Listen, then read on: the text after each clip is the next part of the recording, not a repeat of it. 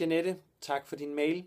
Du skriver, at du har en Jack Russell på 11 år, som efter løbetiden er begyndt at bløde rigtig meget igen. Og du skriver også, at hun er begyndt at drikke mere, end hun plejer.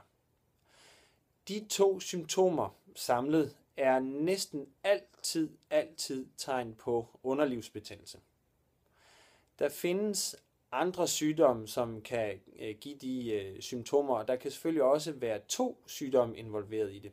Men det helt mest almindelige og statistisk set øh, det vi ser oftest er underlivsbetændelse.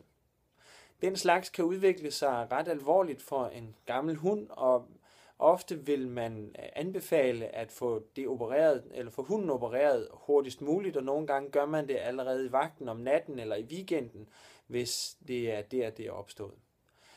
I nogle tilfælde der er hundene ikke påvirket så meget af det, og kan, øh, der kan problemet håndteres med medicin. Men i langt de fleste tilfælde, så er den bedste og mest effektive behandling, det er at få hunden steriliseret.